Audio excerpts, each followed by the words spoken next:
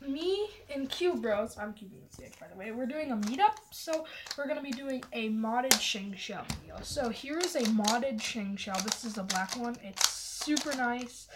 It's so quiet. And then here's a non-modded. This one's Florian modded. I Well, the way we mod it is we take out the ball, ball bearings. bearings, It's not really a mod, it's just mm. Debearing it. Yeah, yeah, yeah, So, but I Florian modded this one, and this one's not. But here, this is the turning of a non one, of a non-bearing one. Then here's it with a bearing. So super clicky, super annoying. So let's just get to modding.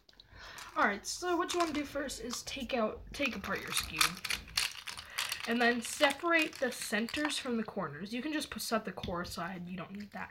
But just take all of those away All you need is the, the corners. corners. Yeah. And there's four. And then what you do is you unscrew it. Ah, well. Just un. Uns. This is kind of like a Gans.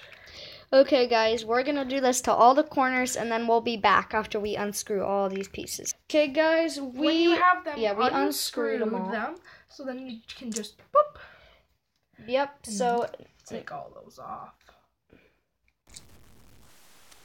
this This is what it should look like, but Yeah. we're gonna show you how to do it. So you take so first of all, we need to Yeah, they Yeah, they, well, they s- they know the they know. So what you do is you take like the thing that you took out of here and you just slide it in there. so you can like hold yeah, it. so it's easier to hold. And then you take this and you push on the ball bearing. And then And you push up, and it comes out. and it just comes off super easy. So now do that to all the pieces.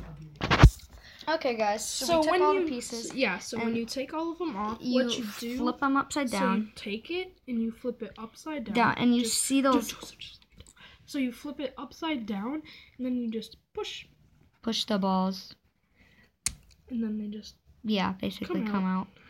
And if you don't, if you just like kind of take them out with your finger, they'll go flying everywhere. yeah. Joseph, Joseph had that experience. Yeah, I had that experience. I almost lost a spring because it went flying like two All right, feet. So, Let's and do then we're gonna show you one more time, and then just do that to all. So Kinda take like- it, flip it over, push, and then kind of lift, And then just yeah, like and then they just come out. And then if the spring doesn't come, the spring's easiest. You just.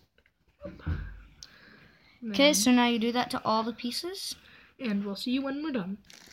So I recommend putting them in a bag just in case you um need to reuse them. But how how you put these back is you just take one of the pieces and then connect them, and then take this, put it in,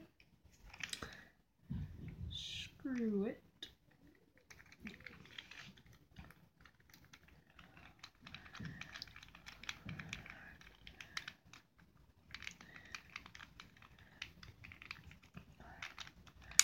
And then do that to all the pieces and then come back and then we'll come back We don't have too much more. Okay, go.